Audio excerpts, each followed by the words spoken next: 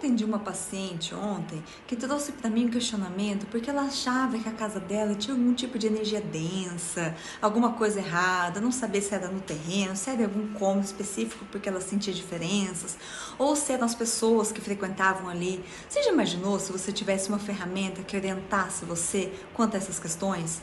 Ou quando você quer alugar ou comprar uma casa, um terreno, um ponto comercial, ou qual seria o melhor nome do produto que você está desenvolvendo, seja de um curso, ou seja algo físico, ou na tomada de decisões mesmo, se você pudesse avaliar qual que é a frequência vibracional da sua saúde, da saúde da sua família. Pois é, a radiestesia pode te orientar em todas essas questões e muitas outras. No dia 9 de dezembro, um sábado, das 17 às 21 horas, eu e meu esposo Wallace Lima daremos a quinta edição do nosso curso de radiestesia quântica, onde você vai aprender a manejar o pêndulo e se orientar com todas essas questões e muitas outras. A gente disponibiliza é, vários materiais para que você utilize e muitos são os bônus também que a gente oferece. Você pode inclusive acessar o curso anterior já imediatamente.